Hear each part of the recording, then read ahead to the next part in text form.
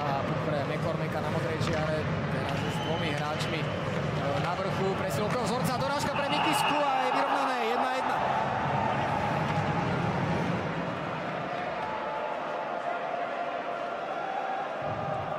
A znova jednoduchšie riešenie presilové hry s nastrelením puku z osia.